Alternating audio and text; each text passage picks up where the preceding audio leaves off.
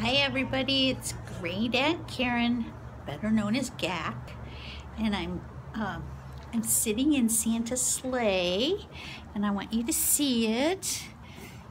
It's uh, really pretty, and Santa is out in the world right now looking for little children because there's nobody in line. So I thought I would tell you a little bit about how your great Aunt Karen, me, Gak, is related to Santa Claus.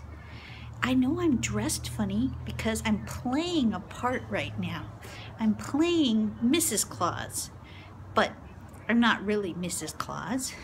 And uh, Santa has a wife and it's not me, but she can't come here to take pictures of kids, so I do it, but I'm really related to him. I may not be his wife, but I am his cousin. Just like Leo and Eddie are first cousins, Santa and I are first cousins. It's really fun. I love it. I've always loved it.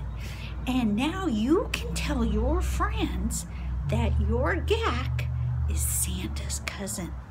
Merry Christmas, kids. And uh, I love you. Bye.